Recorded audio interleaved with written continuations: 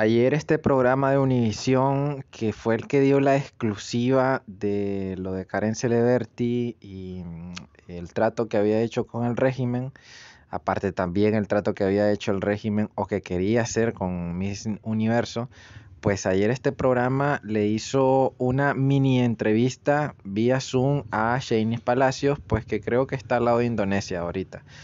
Les dejo este pequeño audio, saben que no puedo ponerles el video por derechos de autor y después venimos a comentarlo. Tremendo bombazo, chicos. Pero eso se los vamos a contar en unos instantes. Lo que sí es un hecho es que la directora de Miss Nicaragua, Karen Celeberti, anunció que se retira de la organización del certamen luego de la persecución que ha tenido el régimen de Nicaragua contra ella y su familia. Todo esto luego de que Shanice Palacio ganara Miss Universo. Lucho Borrego habló con Shanice y esta es nuestra silla de oro.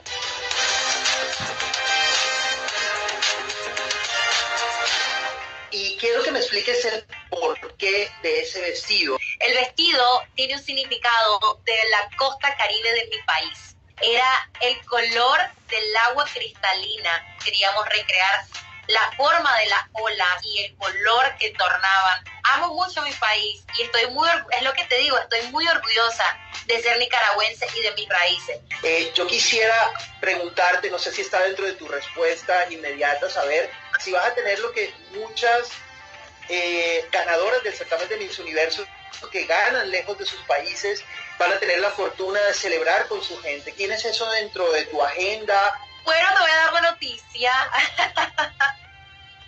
Evidentemente sí, estamos gestionando para poder llegar a mi país, a mi hermosa tierra de lagos y volcanes, compartir con toda la gente que salió a las calles ese 18 de noviembre. Pero no da un poquito de susto llegar a tu país luego de que se hubieran filtrado cosas que no podías entrar, que cosas como esas.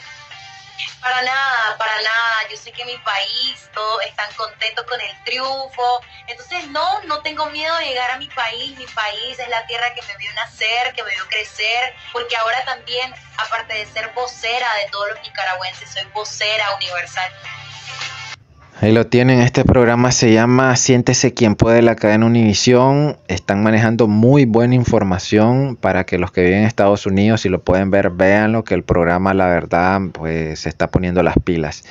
Y vean qué buen periodista que salió ese que la entrevistó, aunque muchos podrán decir, ay, que por qué le hizo esa pregunta que está fuera de tono, fuera de lugar, por qué revuelven todo con política es que aquí no es revolver con política, aquí es lo que se está dando en la vida real, los hechos que se están dando en la actualidad. Y la actualidad es que la dictadura sandinista pues está tratando de opacar el triunfo de Miss Universo y pues está atacando todo lo que tiene que ver con la corona del Miss Universo. Entonces el periodista hizo su trabajo.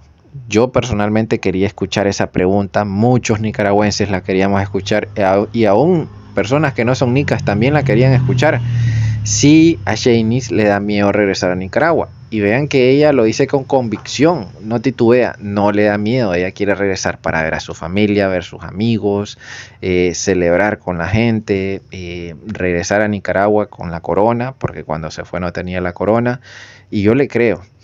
Y le creo porque tal vez ella eh, desde su juventud y, y ahorita con la corona siente que al ser Miss Universo, ahorita, le da algún tipo de inmunidad contra la, contra la dictadura. Es decir, y que yo lo creo que es así, que el régimen no creo que sea capaz que le haga algo cuando ella esté aquí en Nicaragua. Oigan, es que si la dictadura le llega a hacer algo a Shanice Palacios cuando regrese a Nicaragua, ahorita, en estas semanas o en estos meses, oye, es que esto sí sería algo de loco, sería algo demencial, esquizofrénico, no creo que tenga parangón en ninguna parte del mundo. Es que no, no logro imaginarme eh, el grado de demencia que tiene que tener Ortega Murillo para poder atacar al actual Miss Universo estando ella aquí en Nicaragua. No creo que la vayan a chipotear, no creo que le vayan a mandar turbas, no creo que la vayan a expulsar del país así de repente. No, es que ahora te vas. Que la dejen entrar y después la saquen. No creo que hagan eso oigan, eh, tal vez estamos subestimando al sandinismo, eh, los sandinistas son capaces de todo, pero hay algún cierto tipo de diplomacia todavía. Entonces, si el régimen pues no quiere problemas, creo que lo que va a hacer es no dejarle entrar del todo porque si la dejan entrar, no creo que sean capaces pues, de mandarle alguna turba, de secuestrarla, de expulsarla del país, de desterrarla, eh, de hacerle algo a la familia de ella o, a los fanáticos que se lleguen, no sé, a reunir a las afueras de su casa o en algún parque para escucharla de hablar. Algo así, no me puedo imaginar. Tal vez estoy pecando de inocente, pero eso sí sería, no sé, algo totalmente desquiciado. Entonces ustedes pónganme ahí y yo creo que lo que opinan, pero yo creo que más o menos esa es la línea de pensamiento que tiene ella, que bueno, ahorita tengo la corona, no creo que estos sátrapas se atrevan tanto, entonces vamos a aprovechar que tengo la corona, regreso, celebro con la gente y porque tal vez sea la última vez que pueda estar en Nicaragua. Y por eso ella dice que está haciendo todas las gestiones posibles. Obviamente las gestiones es eh, no convencer al régimen, sino ponerse de acuerdo para que ella pueda regresar sabiendo que tiene que cumplir algún tipo de condiciones que el régimen le haga, como por ejemplo, pues que no hayan celebraciones masivas. Otra cosa muy importante que dijo, lo que significaba el traje eh, que usó al final de gala, que simbolizaba las olas de la costa del océano.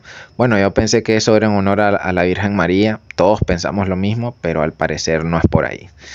Bueno, muchas gracias, suscríbanse, comparten, hasta la próxima.